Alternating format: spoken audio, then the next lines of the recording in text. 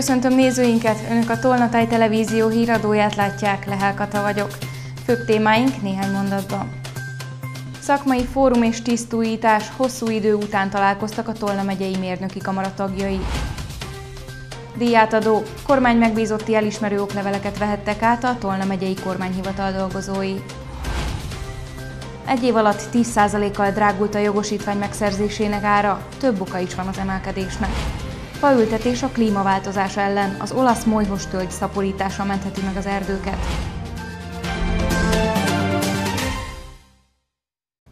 A mesterséges intelligencia gyakorlati felhasználása volt az egyik fő témája a Tolna megyei mérnöki kamara szakmai fórumának. Az egész napos program során az előadások mellett tisztújításra és elismerések átadására is sor került. Először tartottak szakmai fórumot a Tolna mérnöki kamara tagjai a járvány kitörése óta. Az egész napos program során kiemelt szerep jutott a mesterséges intelligenciával kapcsolatos kutatásoknak és a technológiai gyakorlati alkalmazásoknak. Olyan mérnökök vannak, akik nem foglalkoznak ezzel nap, mint nap. És látszik, hogy ez annyira a dinamikus tudomány, hogy ez egyik napról a másikra működik, de olyan bonyolult a, a, a matematikája, hogy ezt nem lehet átlagos mérnöki ismeretekkel csak úgy megérteni. Éppen ezért szólt több előadás is a mesterséges intelligencia használatának lehetőségeiről. A szakmai nappal együtt tisztújítást is tartottak a kamarát tagjai. Palotásné Kővádi Terézia, a szervezet négy évre újra választott elnöke azt mondta, a tagjaik száma folyamatosan nő. A taglétszámunk egyébként növekedett itt az elmúlt négy év során közel 30 fővel növekedett, amit elsősorban a Paks 2 beruházás indításának tudunk be, mert sok Paks környéki mérnök jelentkezett a kamarába, akik az ottani munkavégzéseikhez kell, hogy regisztráljanak nálunk, és a jogosultságaikat megszerezzék. A szakmai napon a kamara éves díjátadójára is sor került. A szervezetért végzett munkájáért idén Küldösi Miklós díjat vehetett át Korcsmár István, vízellátás csatornázási szakmérnök, a kamara leköszönt elnökségi tagja. 30 év kimondva sok is, meg kevés is, tehát az ember belegondol, akkor, akkor ez egy pillanatokon belül elmúlott, hogyha meg jobban belegondol, akkor pedig fogja a fejét, hogy Uram Istenben 30 évben mi minden belefért, és mi minden megtörtént. A kamera alkotói díját Odosz László építészmérnök kapta, a Bulliantal díjat Kavecki Gergő építőmérnök vehette át, míg Cser Józsefet, Eszteri Imrét és Orbán Gyulát örökös tag címmel ismerték el. 371 új megbetegedést igazoltak kedden idehaza, ezzel a járvány kezdete óta összesen 816.222 főre nőtt a beazonosított fertőzöttek száma. Elhunyt 12 beteg, így az áldozatok száma 30.114 főre emelkedett. 307 koronavírusos beteget ápolnak kórházban, közülük 40-en vannak lélegeztetőgépen. Oltást eddig már 5 millió 847 ezren kaptak.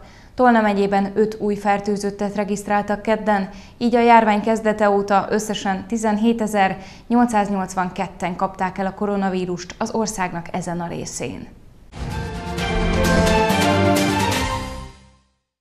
Díjat vehettek át a Tolna megyei kormányhivatal dolgozói. A hivatal idén a kollégák koronavírus elleni munkáját ismerte el.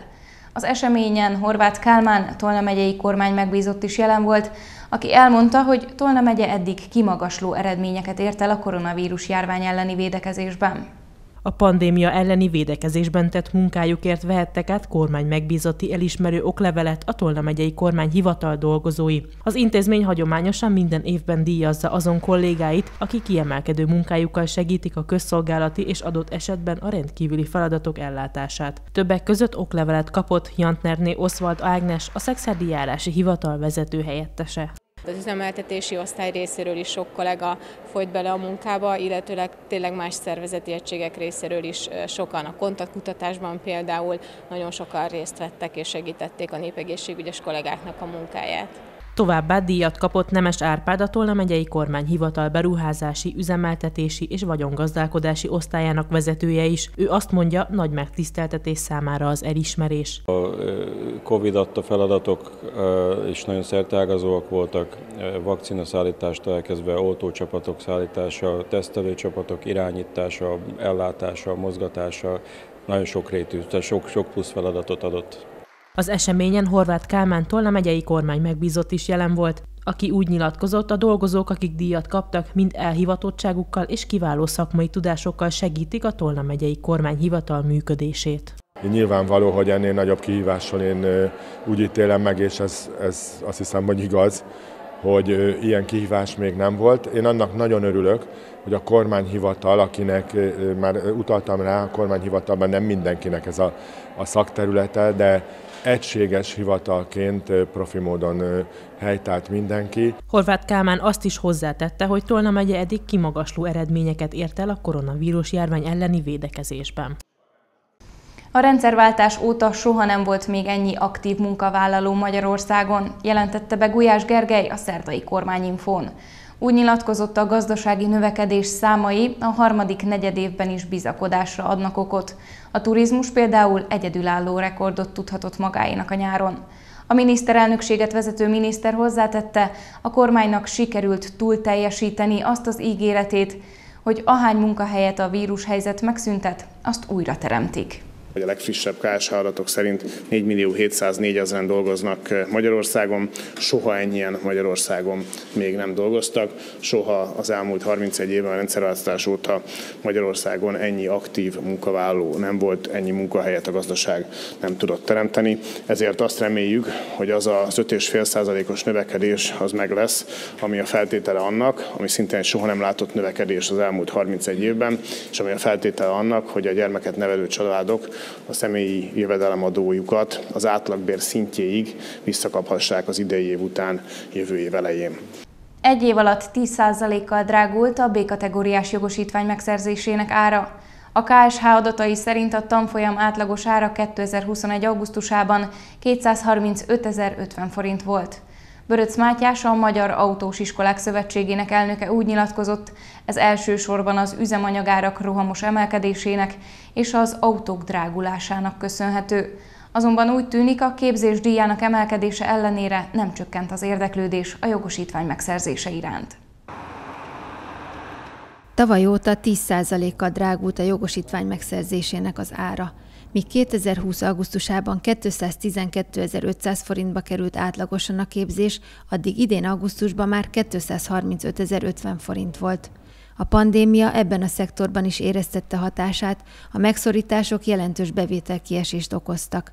Ennek ellenére egyáltalán nem csökkent a kereslet a szolgáltatás iránt, ami szintén felfelé hajtotta az árakat. Egy-egy vezetési óra most már 5000 forinttól akár 10.000 forintig is terjedhet. Elsősorban az oka, hogy ugye már pandémia miatt eh, nagyon sok olyan költség került elő, amit annak idején nem voltak.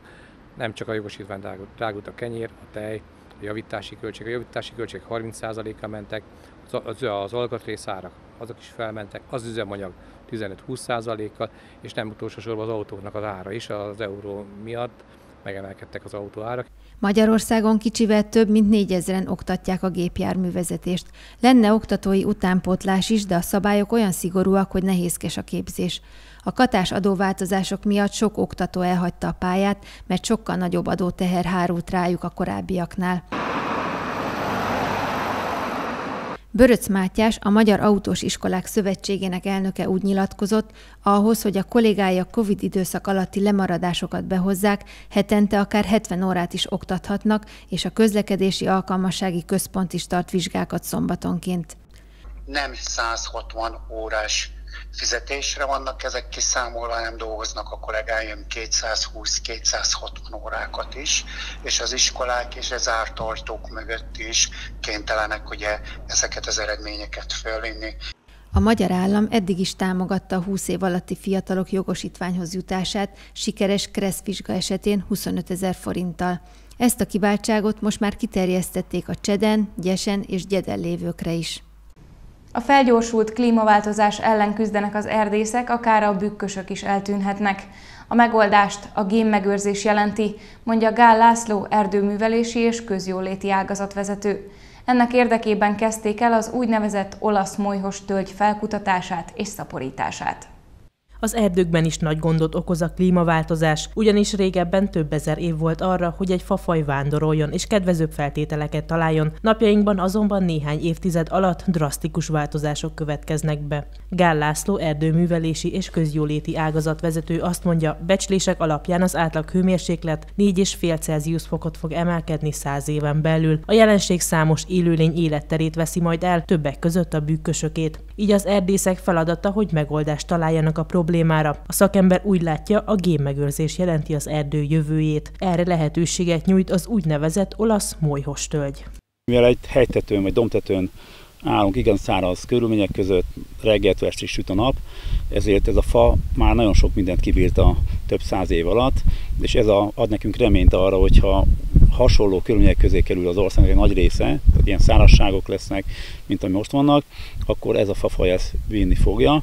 A gond az, hogy ennek a szaporítóanyagára szükségünk van. A levél fonálkán csillámszőrök találhatók, ez ilyen molyhos képet ad, és ez, ez miatt a növénynek kevesebbet kell párologtatni. Horváth Csaba, a hőgyészi erdészet műszaki vezetője azt mutatja, hogy az olasz molyhos tölgy miért tűrőbb más fajoknál. Gál Lászlóval több száz egyedet felkerestek, amelyekről termést gyűjtöttek, majd csemetét neveltek belőlük. Ezt követően pedig Dús község határban ültették el a növényeket egy úgynevezett géngyűjteményben, és a területen több mint 60 törzsfa utódait helyezték el. A célunk az vele, hogy a meglévő genetikai sokszínűséget, illetve ezt a szárasság tűrő képességű egyedeknek az utódait megőrizzük. Abból a célból egyrészt, hogy magunknak a jövőben, mikor várhatóan tényleg sokkal szélsőségesebbre fordul az időjárás, már legyen olyan gyakorlatilag egy ilyen ültetvényünk, ahonnan tudunk majd szaporító anyagot gyűjteni. Horváth Csaba elmondta, fontos lenne, hogy az ország más térségeiben is felkeressék az olasz molyhos tölgy egyedeket, és hasonlóan elkezdenék azok szaporítását. A szakember szerint a fafaj a Dél-Dunán túlon a legelterjedtebb. Több mint 70-en vettek részt az 5. Aliszka katasztrófavédelmi országos íjász versenyen Szerdán Sötétvölgyben. A megmérettetésen nem csak a katasztrófavédelmi szervezetek munkatársai vehettek részt, hanem az ország rendvédelmi dolgozói is nevezhettek. A négy év alatt hagyományjá vált rendezvényt Gyurkovics János, Szexárt alpolgármestere nyitotta meg. Ez a szuba. Ő volt az ötödik Aliszka katasztrófavédelmi országos IASZ verseny legfiatalabb résztvevője. A szerdán Sötétvölgyben tartott megmérettetésen 24 darab 3D-s cél várta a katasztrófavédelmi és a rendvédelmi szervek dolgozóit. A megnyitón Gyurkovics János, Szexárt alpolgármestere köszöntötte a több mint 70 résztvevőt. Elmondta, a nemrég megrendezett 3D IAS Európa és világbajnokságon is nagy sikert aratott a helyszín. Ez a hely, ez a sötét völgy, ez nagyon-nagyon alkalmas ennek a versenynek a megrendezésére. Szívesen jönnek az emberek, nagy létszámból képviseltetik magukat, és nagyon örülünk annak, hogy, hogy ilyen létszámban és ismételten a várost választották. Az első versenyen 2017-ben 38-an vettek részt, ami azóta szinte megduplázódott. Balázs Gábor a Tolna megyei katasztrófavédelmi igazgatóság vezetője elmondta, nagyon örül annak, hogy négy év alatt hagyományá tudott válni ez az országos megmérettetés. Nyíregyházától tényleg Nemes Medvesig érkezett versenyző, és ami külön öröm számomra, hogy hölgyek is vannak és gyerekek is vannak. Találkoztam olyan hölgyel, aki a, a hátán kis hátizsákban hozza a kisfiát, és rákérdeztem, hogy így fog lőni, és mondta, hogy igen, így, így jár a versenyekre. Tehát mindennek megvan a kis maga kuriózuma, megvan a maga szokása és öröme. A versenyről senki nem távozott üres kézzel. Szexárdváros önkormányzata egy a település történetét bemutató könyvet, az egyik helyi pincészet pedig egy-egy palack bort ajánlott fel minden résztvevőnek. Regionális híreinkkel folytatjuk a híradót. Átadták a téliesített strandrészt Harkányban, kormányzati segítséggel fejlesztettek a fürdőben.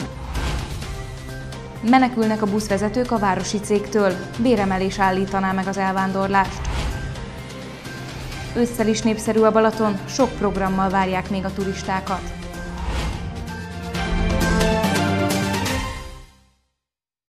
Újabb medencékkel, attrakciókkal gazdagodott a Harkányi fürdő. Átadták a Harka vízivilág elnevezésű strandrészt hivatalosan hétfő délután. az összesen 761 négyzetméter vízfelülettel, három csúszdával, wellness és élményelemekkel rendelkező téli élményfürdő Harkányváros önkormányzata, illetve a Harkányi Gyógyfürdő ZRT fürdőfejlesztési koncepciója alapján épült a magyar kormány milliárdos mértékű támogatásából. A koronavírus járvány miatt a hazai fürdővárosokban elmaradtak a vendégek, így volt ez Harkányban is. Az újabb fejlesztéssel azonban lehetőséget kapnak arra, hogy egész évben tudják fogadni a látogatókat a Baranyai fürdővárosban. Osztott medence, csúszdák, fedett terület, ez a harkányi fürdőtér és strandja, amit hivatalosan hétfő délután adtak át a Baranyai városban. A kormányzat segítsége is kellett a beruházás megvalósításához, és további segítségre is számíthat a fürdő, emelte ki a térség országgyűlési képviselője. A kormány kizárólagosan magyar forrásokból fejleszti a harkányi fürdőt. Itt minden olyan fejlesztés, minden olyan ütem, amit eddig átadtunk, azt gondolom, hogy európai színvonalú, és Magyarországon bármelyik fürdővel megállja az összehasonlításnak a mértékét, a mércéjét. Ez egy nagyon jó sikerült fejlesztés, elkészültek a következő ütemnek a tervei, nagy Csaba felidézte, hogy 2018-ban két kormányzati döntés született, a 47 milliós határozat mellett egy 3,8 milliárd forintos is segítette a fürdő fejlesztését. A paksi bővítésért felelős miniszter azt mondta a megnyitón, hogy ők nem csak az atomerőmű fejlesztésében gondolkodnak. Nem önmagába Paksot szeretnénk, hanem régiót. Ebbe a régióba pedig bele tartozik Barany megye, Somogy, Tolna megye, és még a Dunatúl felén Vács-Kiskun megye is. És nagyon fontos nekünk, hogy itt fog a beruházáson több évig, évtizedig dolgozni, több ezer ember, azoknak is a szabadidőt szeretnénk mi kultúráltan lekötni. A beszédek után következett a nemzeti színű szalag átvágása, majd ezután beléphettek az első fürdő vendégek az új létesítménybe. A pandémia miatt jelentős visszaesés volt a fürdő forgalmában. A téliesített strand nagyobb vonzerő lehet és növelheti a látogatottságot, mondta a Harkány polgármestere. Biztos, hogy több év kell, mire itt konszolidálódni fog a helyzet, de egyértelműen azt reméljük, hogy a téli strandfürdőzés, a téli wellness fürdőzés és a teljes családot felölelő élmények és gyógyszolgáltatások együtt mozgása azért jelentős vendégszám növekedést fog okozni mind a fürdőben, mind a városban. Hogy a számok mit, fog, mit fognak mutatni, azt majd jövő ilyenkor remélem, hogy már örömmel tudom önökkel majd ismertetni. A számítások szerint évi 700 ezeres vendégszámnál önfenntartó lehet a fürdő. Azonban szeretnének legalább egy millió embert vendégül látni Harkányban. Ez a kitűzött cél a polgármester szerint. Szinte naponta lépnek ki a sofőrök a tükebusztól, mert több fizetést kapnak az új munkahelyükön. A volánnál például 50 ezer forinttal járnak jobban, mint a városi cégnél. Ezért a Pécsi Közösségi Közlekedést szervező társaságnál folytatni kell a bértárgyalást, mondja az ott működő szakszervezet képviselője. Az elvándorlás következménye az lehet, hogy a mostani menetrend tarthatatlan lesz, mondta a szakszervezet is. Az egyeztetések szerint szeptember 15-éig kellene ajánlatot kapniuk, eddig azonban még semmi. Az önkormányzatnál egyelőre nem találtak nyilatkozót az ügyben. Naponta hagyják el a buszvezetők a Pécsi közösségi közlekedést bonyolító önkormányzati céget, mondja a Tükebusznál működő Szolidaritás szakszervezet helyi vezetője. Például a mai nap is megtudtam, hogy valaki beadta a felmondását, tehát na, szinte egy-két nap leforgás alatt egymás után adják be ahogy, ahogy találnak helyet. A fizetéseket kellene rendezni, ez a legfontosabb, mondja a szakszervezeti vezető.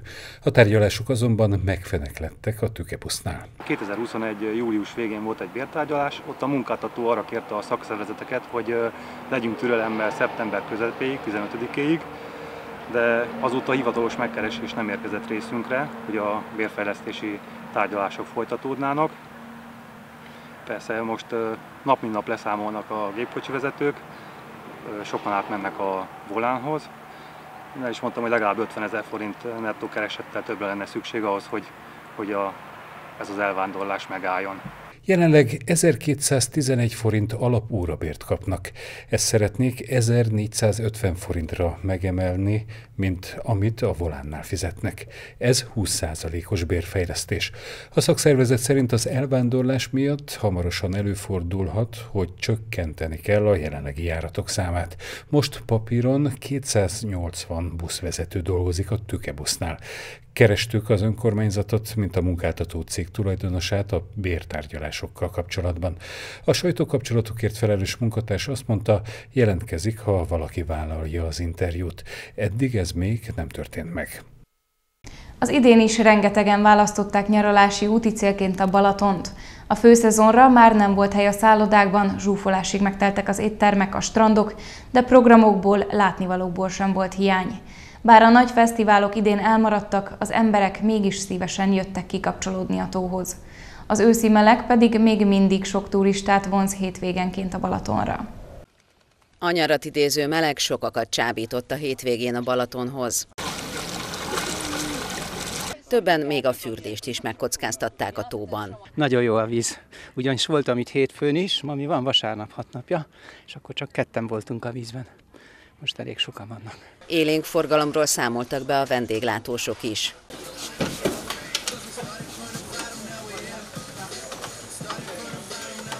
Ez a Balatonszemesi büfé ma nyitott ki utoljára az évben. Az üzletvezető szerint a nyári forgalmuk legalább ugyanolyan jó volt, mint a tavalyi vagy a tavaly előtti szezonban. Július elejétől kezdődött az, hogy, hogy igazán szezon van, akkor voltak nagyon sokan, viszont az augusztus az mindig nagyon erős, akkor rengetegen voltak, rengetegen, akkor nagyon sokan voltak. Akkor teltház volt szinte minden nap, hétvégén meg még a teltháznál is többen voltak. A szeptemberi hétvégékre sem panaszkodhatnak a még nyitva tartó vendéglátósok. A jó idő sok vállalkozót arra sarkal, hogy legalább a hétvégeken továbbra is nyitva legyen. Remélhetőleg minél tovább tudunk nyitva tartani. Teszünk azért lépéseket, hogy az üzletet, a teraszrészt azért egy téli kertre alakítsuk át, és egy kis fűtőtesteket helyezünk be, tehát ennek annak a célnak az érdekében, hogy minél hosszabban tudjunk nyitva tartani, akár egy péntek, szombat, vasárnapi nyitvatartással is, de tudjunk vendégeket fogadni a Balatonon még a téli időszakban is. A vendéglátóhelyek mellett a települések is gazdag őszi kínálattal várják a tóhoz érkezőket. A jövő hétvégén a Balaton napján, a balatoni hajózás napján várják az érdeklődőket izgalmas programok, emellett a következő hétvégeken számos helyen hagyományos szüreti felvonuláson és bálon kapcsolódhatnak ki a Balaton szerelmesei. A színpadon javában készülnek a Csárdás királynő bemutatójára a Kaposvári Csiki Gergely Színházban, de a háttérben is sokan dolgoznak az előadásért. A teátrum szabóságában is lázas munka folyik, az utolsó simításokat végzik a részletgazdag jelmezeken. Ahogy látjátok, tültől kezdve csipkéig, flitterig, tollig, itt minden sejem, sejem, sejem santunk, Különféle anyagokból készülnek a Csiki Gergely Színház előadásainak jelmezei, mutatja Szántóné Kis Tünde, a Varroda tárvezetője. Jelenleg a Csárdás királynő közelgő bemutatójának ruháin dolgoznak. Mivel ez egy nagy operet, sok szereplővel, sok jelmez készül, egy szereplőnek több ruha is. És az sem ritka, hogy az egyik jelmez alatt egy másikat is el kell rejteni. Hátul lehúzza a húzózárat, és egy mozdulattal őnek ki, az egyik ruhából le kell, hogy essen, és kilépjen, és ezáltal már is ott fog tudni állni majd a másik jelmezében. A női és a férfi varrodában hetek óta dolgoznak a darab jelmezein. Mint mesélték, a munka azonban nem a varrással kezdődik. Amikor ö, ö, még csak tervbe van, nagyon sok mindenen át kell mennie, mind, mind átvenni az anyagokat, beavattatni az anyagokat, még mielőtt nekiállunk az elkészítésének. Aztán, amikor próbára van állítva egy-egy darab, akkor utána próbára hívjuk, előzetes próbára hívjuk a színészeket, van egy előzetes ruhapróba, ruhapróba után, az, az esetleges leigazítások után történik még csak a befejező műveletek, és a befejező műveletek után is még vannak, amikor még újból kézbe kell venni a dolgokat, a, a jelmezeket, és még apróbb alakítások még utána is ö, folynak egy-egy jelmezen. Mint Szántóné Kistünde mesélte, nagyon szeretik a kihívásokat és a rafinált szabásvonalakat.